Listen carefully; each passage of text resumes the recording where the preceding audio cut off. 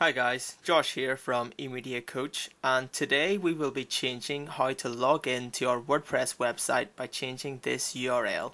All WordPress websites come default with forward slash wp admin as their login. This leaves you open to hackers and other people trying to log in to your WordPress website as everyone knows this is how you can log in. So if I try to run this, it will give me a 404 error and not allow me to log in.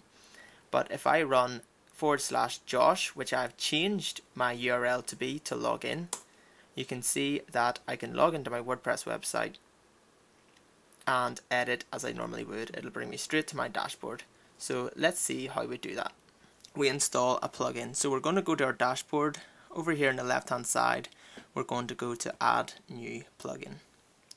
We'll search for a plugin called WPS. So here we are. WPS hide login. So we want to install now. And once that's installed, we will click activate. And once that's activated, it'll bring us to our plugins page. So we can then go to settings here on our menu and WPS hide login is now an option in our settings. So if we scroll all the way to the bottom, you'll be able to see here that it is telling us that you can click hashtag login in the URL and that will log us in. So we can change this to anything. So I'll just simply change it to my name and save changes. From here we will log out and just make sure that it's working. So we'll open up a new tab and go to my local host eMedia Coach and with WP Admin you can see that it does not allow us to log in. It's giving us a 404 error. And if I then type in Josh after the URL, it will allow us to log in.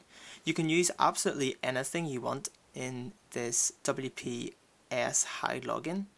So we can change it to test, save these changes, and if we log out, to log back in now with eMedia Coach and if we try Josh now it won't work.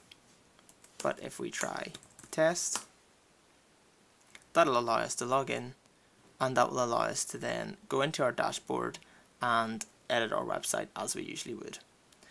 If you find this useful don't forget to like and subscribe the channel. And if you have any questions at all drop them in the comments below Thanks for watching and I'll see you next time.